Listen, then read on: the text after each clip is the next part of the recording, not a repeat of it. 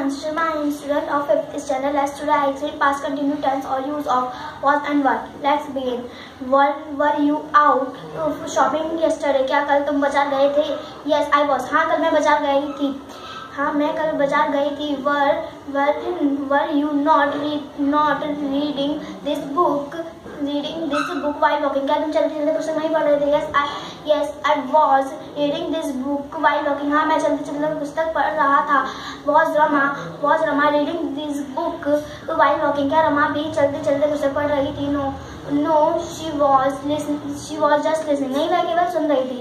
Were your, were you aunt singing at home? क्या तुम्हारी बुआ कल क्या तुम्हारी बुआ गा रही, तुम्हारे घर में गा रही थी no she was my sister नहीं वह मेरी बहन थी were you were you studying in English क्या तुम अंग्रेज़ी, क्या तुम अंग्रेज़ी पढ़ रहे हो yes we were in learning English हाँ मैं हाँ मैं अंग्रेज़ी सीख रही हाँ हम अंग्रेज़ी सीख रहे हैं. I hope enjoy my video thank you